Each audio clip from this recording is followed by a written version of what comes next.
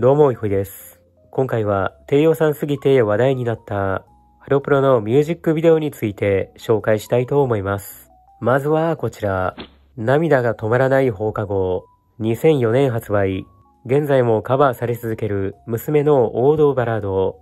PV は男性役、女性役に分かれたメンバーが真っ白なスタジオで踊る舞踏会パートと9度の衣装を身にまとい弓を引きまくる弓道パートの2部で構成。低予算や意味不明な構成がよくネタにされる PV ですが、メンバーの凛々しい表情を見ることができる趣深い作品です。次はこちら、What is Love 2014年発売。正月特番の寝起きドッキリ企画でも披露された娘カラフル機の超名曲。MV は全編武道館でのライブ映像。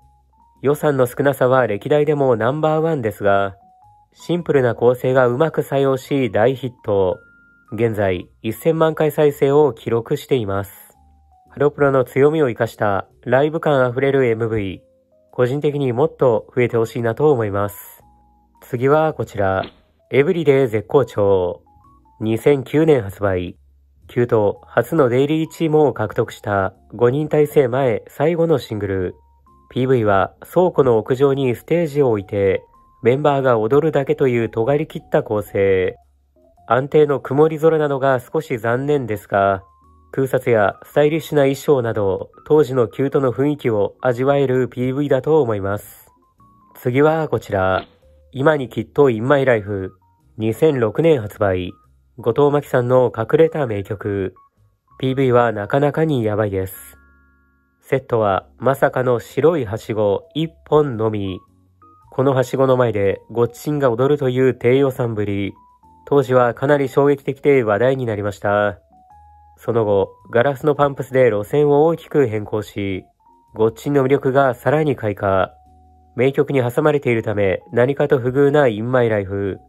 あのはしごは結局何だったのか語られることはありませんでした。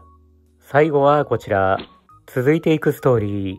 2015年発売。数々の伝説を残してきたジュースジュースの名曲。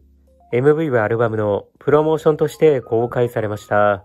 メンバーの上半身のみを映し、楽曲を聴かせることに注力したハロプロ史上最もシンプルな MV です。ジュースの高い歌唱力があるからこそできた構成。何度も見返したくなる、個人的にも大好きな作品です。いかがだったでしょうか？皆さんの好きな話題になったハロプロの MV についてもコメント欄で教えていただけると嬉しいです。では、ここまでご視聴いただきありがとうございました。今後もこういった動画を投稿していきますので、よければチャンネル登録、グッドボタンよろしくお願いします。では、バイビー。